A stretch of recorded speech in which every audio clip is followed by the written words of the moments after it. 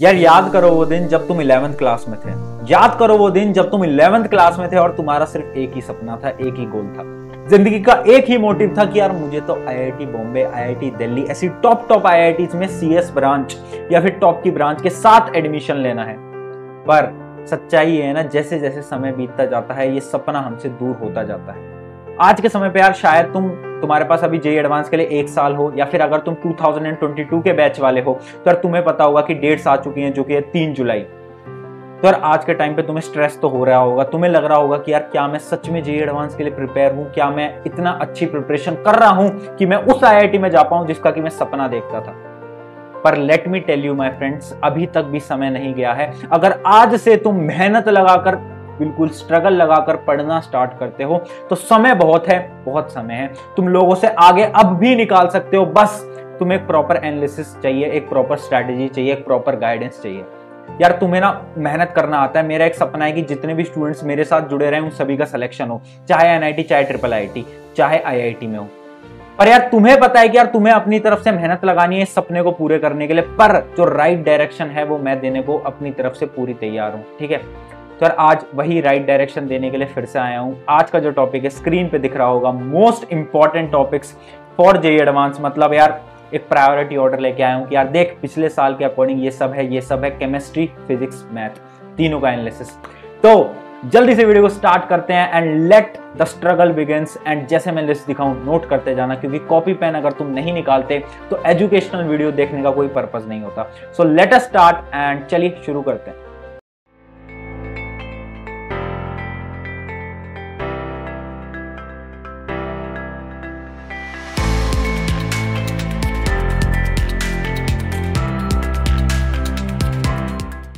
तो hi guys I am प्रशांत और यार देखो, अगर मैं छोटा सा अपना इंट्रो दूँ तो यार मैंने JEE main and JEE advance 2019 में क्लियर किया हुआ है and I am a third year student जो कि अभी के टाइम पर अपनी इंजीनियरिंग परस्यू कर रहा है। तो यार जल्दी से स्टार्ट करते हैं फिजिक्स के साथ मतलब फिजिक्स काफ़ी इंपॉर्टेंट चैप्टर मैं भी आज के टाइम पे स्टूडेंट्स को फिजिक्स पढ़ा रहा हूँ।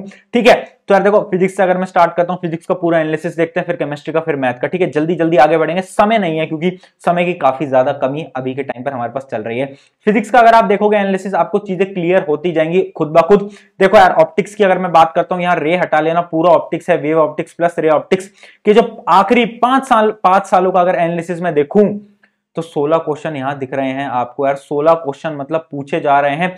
फॉर श्योर पूछे ही जाएँगे। ये तो यार बड़ी ही अच्छी चीज़ है। कि यार भैया जो अपना जो रे ऑप्टिक्स होता है वेव ऑप्टिक्स होता है, उससे पाँच सालों में 16 क्वेश्चन आ चुके हैं। इसका मतलब हर साल अप्रोक्स टू अप्रोक्स तीन से चार क्वेश्चन आ रहे हैं। आगे बढ़ते हैं। रोटेशनल वेरी इंपॉर्टेंट यार, आप ना कॉपी पेन लेकर ये सारी चीज़ें नोट करते जाएँ। लिस्ट आपको वैसे तो टेलीग्राम पे मिल जाएगी। टेलीग्राम आप यहाँ से ज्वाइन कर सकते हैं। लिंक है डिस्क्रिप्शन में, पर फिर भी आप नोट करते जाएँ। अगर, क्योंकि यार नोट करोगे तो दिमाग में ऑलरेडी छपता जाता है, ठीक है?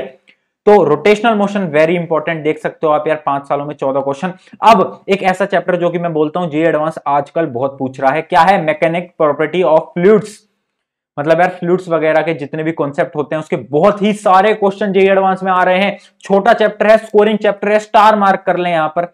स्टार मार्क कर लें, आगे बढ़ते हैं। थर्मोडाइनमिक्स यार, इतना आसान चैप्टर और इतना स्कोरिंग हर साल दो से तीन क्वेश्चन पूछ लिए जाते हैं। कभी कभार पैसेज फॉर्म में भी आ जाता है, जिसका कि एक क्वेश्चन की नंबरिंग चार से पाँच होती है। आगे बढ़ते हैं। इलेक्ट्रोस्टैट्स वेरी इंपॉर्टेंट गॉस वगैरह सब इंपॉर्टेंट है।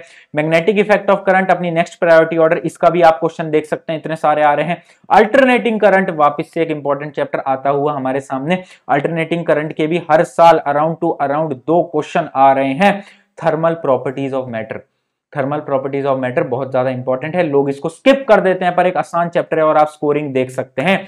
तो ये हुई हमारी फिजिक्स का यार थोड़े बहुत चैप्टर के बाद आगे और बढ़ते हैं और चैप्टर्स को देख लेते हैं। ठीक है? तो चलिए फिर थोड़ा सा आगे बढ़ते हैं। आगे आप, आप देख सकते हैं यार ये भी सारे इंपॉर्टेंट चैप्टर हैं। अगर आप ध्यान से देखो तो nuclear physics atomic physics unit dimension यार न्यूक्लियर फिजिक्स और एटॉमिक फिजिक्स मिलके क्या बनाते हैं? मॉडर्न फिजिक्स भैया मॉडर्न फिजिक्स मतलब भैया मॉडर्न फिजिक्स के चौदह सवाल पूछे जा रहे हैं पाँच सालों में। इसका मतलब तीन क्वेश्चन हर साल क्या बात है भैया? मॉडर्न फिजिक्स तो पढ़नी पड़ेगी, बिल्कुल पढ़नी पड़ेगी। यूनिट डायमेंशन से हर साल एक सवाल पूछा जाता है, सबसे आसान सवाल मतलब चार नंबर तो यहाँ पर तुम अपने प्लस ऑलरेडी कर सकते हो। Motion in two dimension kinematics में पढ़ा चुका हूँ चैनल की लिंक है डिस्क्रिप्शन में। उसके साथ साथ करंट इलेक्ट्रिसिटी भी है इलेक्ट्रोमैग्नेटिक इंडक्शन से भी एक सवाल आसान सा आ जाता है। काइनेटिक थ्योरी ऑफ़ गैसेस में से मतलब बहुत आसान चैप्टर है डिग्री ऑफ़ फ्रीडम से एक सवाल आता ही आता है। मैथमेटिक्स इन फिजिक्स यार ये कोई कंसेप्ट नहीं होता। छोटी छोटी चीज़ें होती हैं जो कि हर तरफ़ से होती है। जब तुम फिजिक्स पढ़ रहे होते हो तो ये चैप्टर एक तरीके से आ जाता है। पर अगर मैं नाम बोलूँ मैथमेटिक्स ऑफ़ फिजिक्स ऐसा करके कोई भी चैप्टर है नहीं। ठीक है? चीज़ें हो रही हैं क्लियर अगर हो रही हैं तो लाइक कर देना वीडियो को, है ना? थोड़ी सी मेहनत लगती है।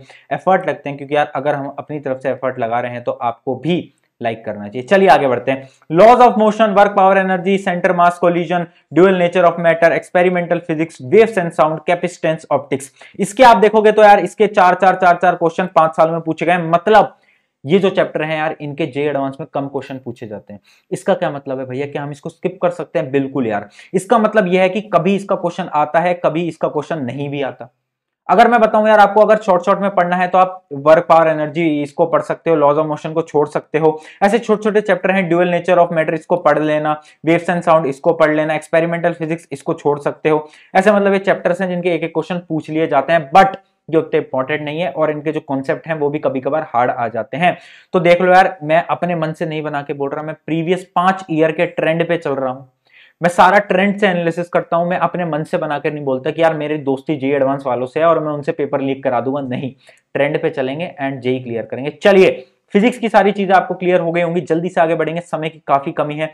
फिजिक्स के यार तीन चार चैप्टर और बचे हैं mechanic properties of solid oscillation motion in one dimension and gravitation देख सकते हो, काफ़ी ज़्यादा कम इंपॉर्टेंट चैप्टर है, इनको तुम बिल्कुल छोड़ सकते हो, कोई दिक्कत नहीं आएगी। आगे बढ़ते हैं केमिस्ट्री भैया केमिस्ट्री बताओ, क्योंकि जे एडवांस में अगर एक सच्चाई बताऊँ मैं तुम्हें तो chemistry will make your score high for sure for sure मतलब करके ही रहेगी, ये तो सत्य है, आज की ज़िंदगी का सत्य है, इसमें कोई दोराय नहीं है, ठीक है? तो केमिस्ट्री में अगर हम बात करें तो आप देख सकते हो सबसे ज़्यादा इंपॉर्टेंट पी ब्लॉक मतलब इनऑर्गेनिक केमिस्ट्री का वेटेज भैया बहुत ज़्यादा है तो जोश के साथ इसको पढ़ना स्टार्ट कर दो।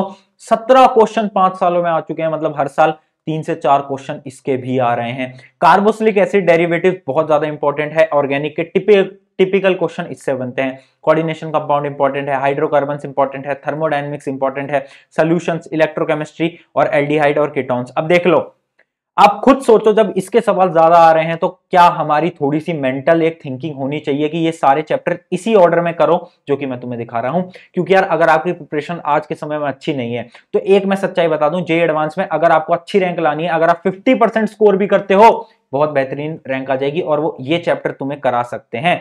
चलिए आगे बढ़ते हैं। पर यार, आगे बढ़ने से पहले यार, मैं तुम्हें एक बुक का रिकमेंडेशन देना चाहूँगा तो उस बुक के बारे में थोड़ी सी डिटेल बताता हूँ। एक मिनट का समय लूँगा और अगर आपको बुक अच्छी लगती है तो आप परचेस कर सकते हो। लिंक है डिस्क्रिप्शन में तो चलिए। तो एक बुक का तुम्हें रिकमेंडेशन देना था, बहुत ही खतरनाक किताब है, दिशा पब्लिकेशन की मैथमेटिक की नाइनटी ईयर प्रीवियस ईयर मतलब यार जेई मेन के लिए बहुत ज़्यादा इंपॉर्टेंट किताब है। अगर आपको यार जे मेन फोड़ना है तो आपको प्रीवियस ईयर क्वेश्चन लगाने पड़ेंगे। होपफुली ये बात सभी को पता होगी। तो इस बुक को आप परचेज कर सकते हो यार, इसमें 97 प्रीवियस ईयर क्वेश्चन सारे डिटेल्ड सोल्यूशन के साथ हैं। अटेम्प्ट कैसे करने हैं यार, सबसे पहले आप खुद अटेम्प्ट करेंगे। अगर आपसे सॉल्व नहीं हो पाता सोल्यूशन देखेंगे अप्रोच देखेंगे। इसकी जो खासियत है, इसकी जो स्पेशलिटी है, वो ये है कि यार इसके सोल्यूशन बिल्कुल एक्यूरेट है एंड बहुत अच्छे मैनर में लिखे गए हैं इस किताब के अंदर। तो आप यार बिल्कुल परचेज कर सकते हैं। लिंक है डिस्क्रिप्शन में। उसके अलावा यार इसके दो वर्जन और आते हैं। फिजिक्स के आपको दिख रहा होगा और केमिस्ट्री का आपको दिख रहा होगा। 97 ईयर का तो यार इसको आप लोगे तो आपकी जो प्रिपरेशन लेवल है वो नेक्स्ट लेवल हो सकती है। तो बाय कर सकते हो लिंक है डिस्क्रिप्शन में। अब बढ़ते हैं वीडियो की तरफ़। तो चलो यार, फिर से अब अपन मेन पॉइंट पे आ जाते हैं, जो कि हमारे केमिस्ट्री का चल रहा था। तो देखो, अब हमने पहला प्रायोरिटी ऑर्डर की बात कर ली। सेकंड प्रायोरिटी ऑर्डर हमारा ये होना चाहिए structure of atom chemical bonding chemical kinetics D and F block states of matter general organic chemistry amines और सॉलिड स्टेट क्वेश्चन आप देख सकते हैं, हर साल अराउंड टू अराउंड वन या फिर दो क्वेश्चन पूछे जाते हैं। सबसे ज़्यादा इंपॉर्टेंट है structure of atom priority number two से। चलिए आगे बढ़ते हैं ना, ज़िंदगी में आगे बढ़ते रहेंगे। चलिए चलिए चलिए। देखो यार केमिस्ट्री काफ़ी आसान होती है और केमिस्ट्री बहुत ज़्यादा स्कोरिंग होती है तो प्लीज़ आज से, अभी से पढ़ना स्टार्ट कर दें। अगले पे चलोगे यार जनरल प्रिंसिपल ऑफ़ आइसोलेशन मतलब मेटलर्जी एक क्वेश्चन हर बार पूछा जाता है, सबसे आसान चैप्टर है।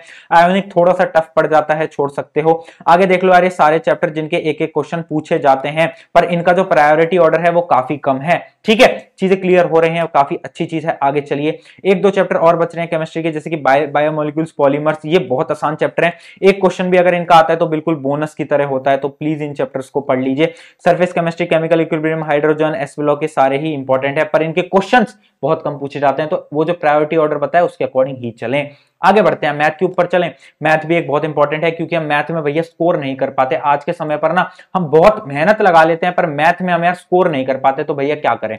चलिए, दिखाता हूँ मैथ के इंपॉर्टेंट टॉपिक बताता हूँ। अगर इनके अकॉर्डिंग तुम पढ़ते हो, तुम बहुत अच्छा स्कोर कर लोगे, कोई दिक्कत नहीं आएगी ज़िंदगी में। चलिए तो देखो मैथ में सबसे ज़्यादा important conic section as you all know conic section बहुत ज़्यादा इंपॉर्टेंट है पैराबोला एलिप्स सब कुछ इंपॉर्टेंट है।